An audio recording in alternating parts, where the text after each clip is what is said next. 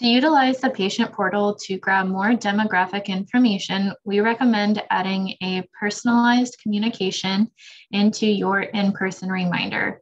You can find that in the appointments tab, your little settings wheel, and smart configuration, and head to communications.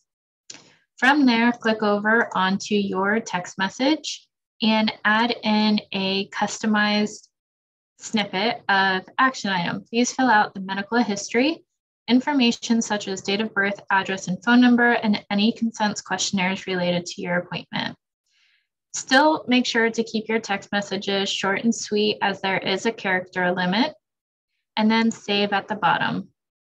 The reason you want to do this is to bring light to the client that in their patient portal, they can fill out their name, date of birth, email, phone number, address, and My Medical History form, which can be updated at any time in their My Medical History form, they can add in uh, their social history, allergies, current medications, family history, current medical conditions, and past medical history.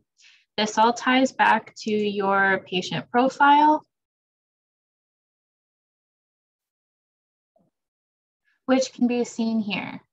Any allergies would receive a red caution mark. And any of that demographic information that they filled out, you would be able to see here, which will be able to be used in reporting for the future. Let us know if you have any questions.